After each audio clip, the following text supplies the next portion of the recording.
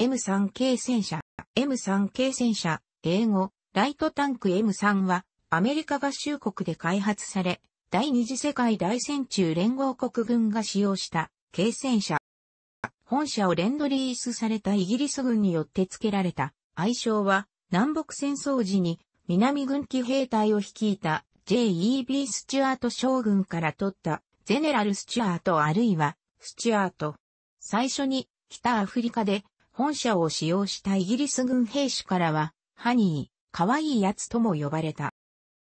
第二次世界大戦前にアメリカが開発した M2 系戦車は優れた車両であり、1941年6月にレンドリースポーにより M2A4 系戦車36両がイギリス軍に対与、うち4両のみがエジプトに送られただけで、他は本国配備され、スチュアートの愛称が付けられた。これは以前のスペイン内戦でのソ連製、ドイツ製、イタリア製戦車の実戦による教訓から、対戦車砲に格子得ない薄い装甲が問題とされ、M2A2 までは 16mm しかなかった車体前面装甲を 25.4mm、1インチに強化していた。しかし、これでも 37mm 対戦車砲に対しては不十分であり、38.1mm、1.5インチに強化した新型軽戦車を開発することとなった。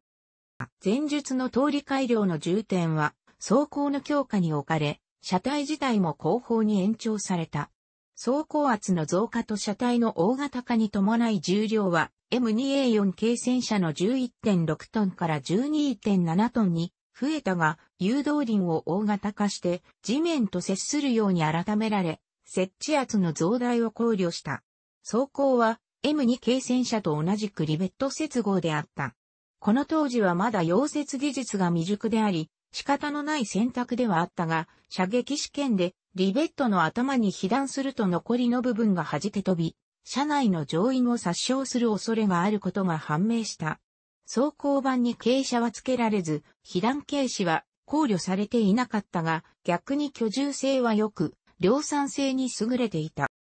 武装面では、M537mm 戦車砲、基本的に対戦車砲のままを搭載した M2A4、軽戦車と M3 軽戦車前期生産型では、中体複座機が露出していたが、M3 軽戦車後期生産型からは車載専用の M637mm 戦車砲が搭載されたため、中体複座機は棒立て内に収められている。旋回ハンドルは装填手側についていて、社長兼報酬には使いづらく、供与されたイギリス軍では反対側に移動させている。M2A4 軽戦車から追加され、車体左右周部のスポンソン前面に固定装備された2丁の 7.62mm M1919 機関銃は M3 軽戦車にもそのまま残されていたが、役に立たないとして後に撤去された。走行の開口部はパッチで塞がれ、スポンソン内は物置にされた。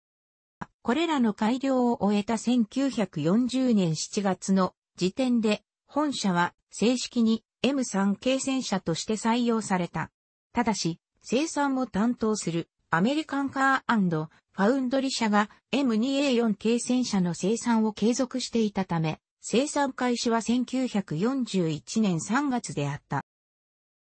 この間にも刻々と状況が変化する戦場からは様々な情報が寄せられ、本社は生産途中にも様々な変更箇所が加えられた。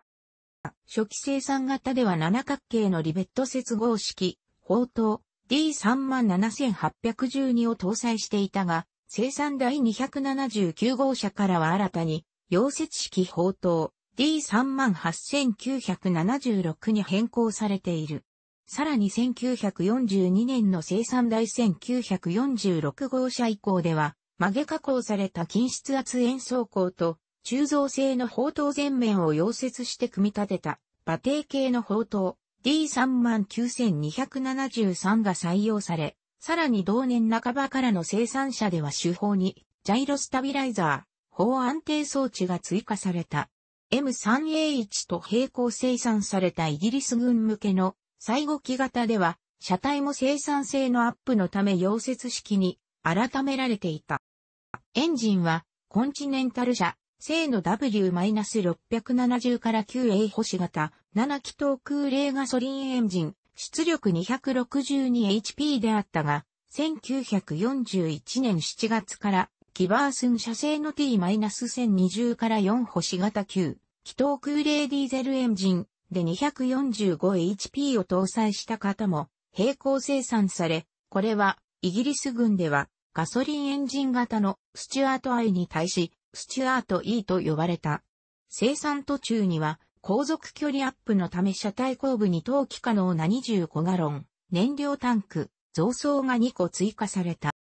また M3 系戦車にキャデラック社製の4ストローク V 型8気筒液冷ガソリンエンジン2機を搭載する改良が行われ M3E2 という形式名でテストされた後 M5 系戦車として正式化された。M5 系戦車はイギリス軍ではスチュアートバイと呼ばれた。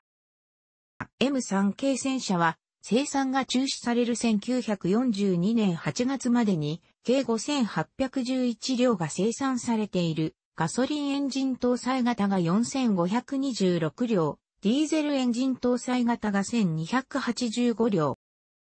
M3 系戦車には以下のようなバリエーションがある。大量生産された M3 系戦車は他の多くのアメリカ製兵器と同じく同盟国イギリスをはじめとしてソ連、フランス、オーストラリア、中国などに供与された。イギリス軍は本社を北アフリカでの戦いに投入し、その信頼性の高さから親しみを込めて、ハニーという愛称で呼ばれた。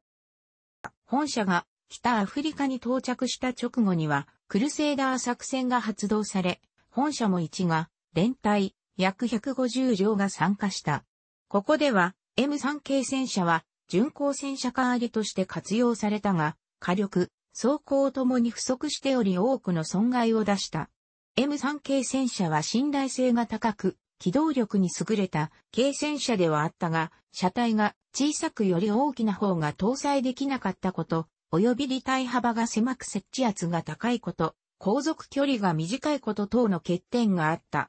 このため北アフリカでの戦闘任務は新たに供給された M4 シャーマン中戦車により取って代わられ、M3 系戦車は偵察任務に回されるようになった。この後、チュニジアで戦ったアメリカ軍の M3A1 もドイツ戦車に挑んで大損害を出し、このクラスの軽戦車がドイツ軍相手に戦車戦や不評支援を行うことの限界を露呈してしまった。さらに1942年中期以降は、新型の M5 軽戦車が配備され始め、次第に押し出される形で1943年には、アメリカ軍の第一線装備から外された。自由フランス軍や自由ポーランド軍、ビルマ方面のイギリス軍などでは、M3A3 が使われ続けていたが、ヨーロッパのイギリス連邦軍では、M3A3 の砲塔を撤去し、弾薬運搬車やホーケニー車に改造されたものも多い。また、イタリア戦線のイギリス軍では、やはり M3A3 の砲塔を撤去、武装を基準のみとして軽量化し機動力を増加させた、スチュアートレッキ偵察車に改造されている。一方の太平洋戦争では、開戦時にフィリピンに第192戦車大隊、M3 系戦車54両、第194戦車大隊、同53両が配備されていた。この中において1941年12月22日に日本軍がルソン島に上陸した際、これを迎撃に出た M3 系戦車15両は、戦車第4連隊、第2中隊第1小隊所属の95式系戦車と戦闘を行っている。M3 の正面走行は95式軽戦車の 37mm 砲をすべて跳ね返したが、被弾炎上、離体切断、敵小隊長車による体当たり等により5両が行動不能となり撃退された。なお、これが日米初の戦車戦であるとされる。その後空襲などにより損害が増えつつあった両戦車大隊はパターンに交代して再び戦車部隊として再編成、1942年4月8日まで、不評部隊と共に、バターン半島の死守し、第一次バターン半島攻略戦では、日本軍の攻略を食い止めた。続いて、第二次バターン半島攻略戦において、戦車第7連隊臨時松岡中隊所属の一式 47mm 戦車砲を搭載した97式中戦車改めと交戦してり、松岡中隊側の戦闘情報によれば、航空支援との共同で3両の M3 軽戦車を撃破、臨時松岡中隊側には損害なしと表記されてある。結果としては、フィリピン方面では、制空権、制海権を奪われ、第2戦、第3戦の防衛ラインが突破されたこともあり、両大隊は残存車両をすべて破壊した上で降伏した。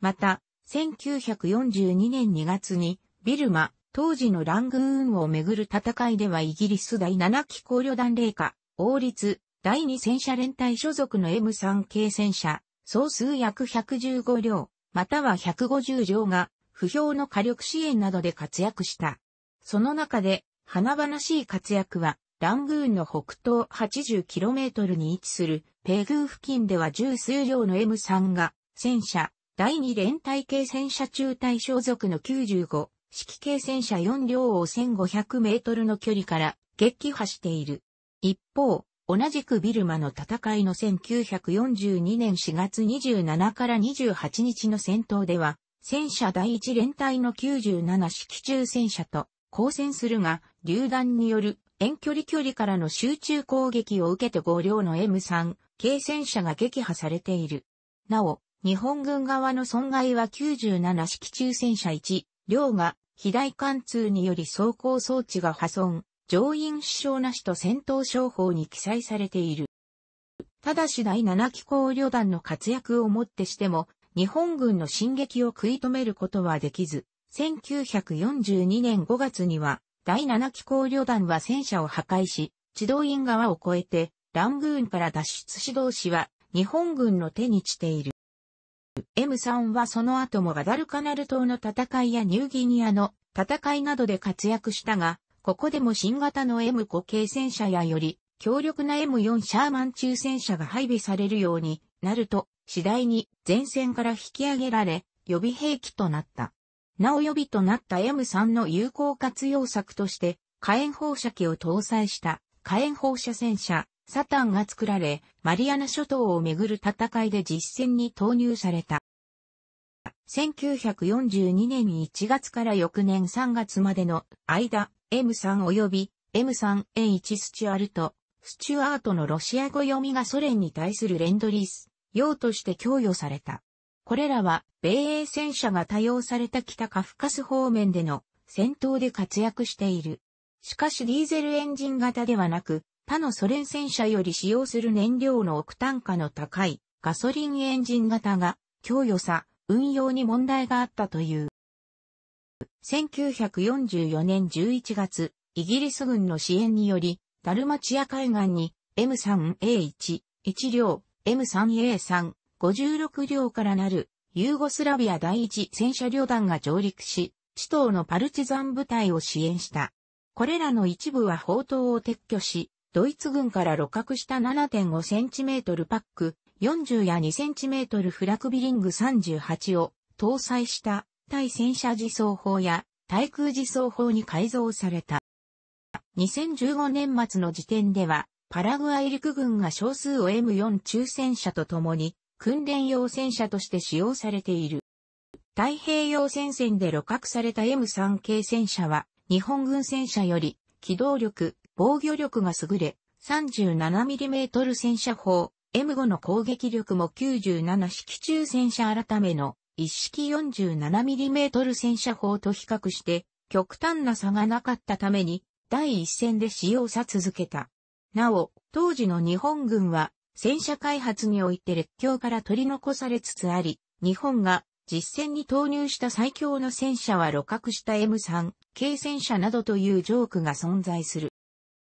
1942年、昭和17年4月のコレヒドール島要塞攻略作戦にあたり、前述の臨時松岡中隊所属の97式中戦車改め2両、95式軽戦車4両に混じって1両の M3 軽戦車も参加している。このうち実際にコレヒドール島にたどり着けたのは97式中戦車改め2両と M3 系戦車のみだった。しかし予期せぬ戦車の投入により、アメリカ軍守備部隊は強行をきたし、結果的に難攻不落とされたコレヒドール要塞も同日中に陥落することとなった。なお、上陸地点から台上に進出する際に、海岸全面は45度以上の傾斜で97、式中戦車では容易に途半ができず、砲爆撃や公兵隊が障害物を爆破したが当番に失敗した。しかし、M3 系戦車で途半を試みたところ成功したため、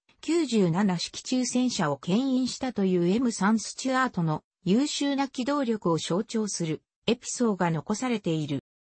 また、インパール作戦に参加した戦車第14連隊では、第1、2、3中隊が M3 系戦車を装備する軽戦車小隊を保有していたほか、作戦発動前には戦力強化のために M3 を装備する第4中隊が新たに編入された。作戦初期の1944年、昭和19年3月には日本軍の M3 軽戦車が英イ軍の M3 中戦車と戦闘を交え、これを撃破している。しかし無謀な作戦計画による補給の不足や強力な中戦車を前面に立てて、等を行う英イ軍の前に戦車14連隊は装備を失って壊滅し、隊へ撤退している。このほか、戦車第7連隊及び戦車第4連隊が露獲した M3 系戦車を装備している。